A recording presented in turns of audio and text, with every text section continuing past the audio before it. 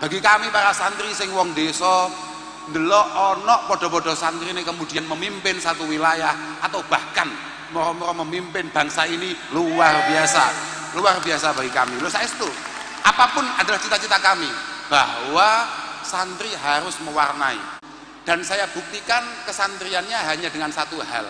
Ternyata Pak Sarmuji niku anaknya mondok teng Lirboyo karena tidak ada santri bisa dibuktikan kesantriannya kecuali dengan meyakini bahwa anak-anaknya yang merupakan aset terbaik yang dimilikinya diletakkan di tempat yang paling ia yakini yakni pondok pesantren. Kata Imam Qurtubi sama nek pengen ngerti wilayah api itu syaratnya harus ada empat hal.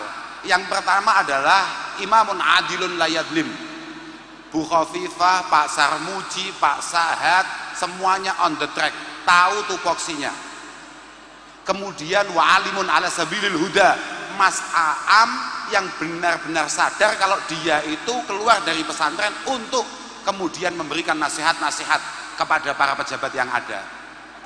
Yang ketiga adalah wa masyayikhu ya'muruna bil ma'ruf wa yuhariduna ala talabil ilmi wal Qur'an.